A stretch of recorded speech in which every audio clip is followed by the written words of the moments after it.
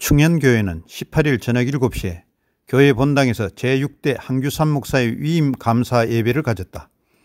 이날 위임 국장 강병두 목사의 사회로 시작된 예배는 총회장 김종준 목사의 기념비를 세우는 교회라는 제목자의 말씀이 있었다.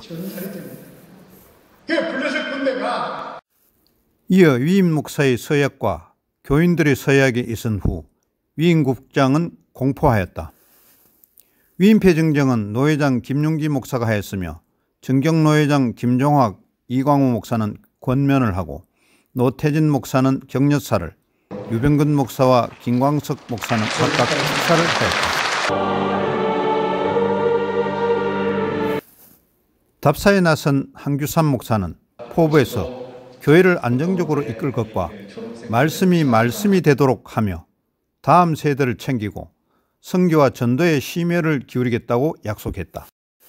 당의 서기 안석현 장로의 인사와 강고가 있은 후 내주의 나라와를 찬송한 후 김윤기 노회장의 숙도를 끝으로 위임의식은 종료되었다.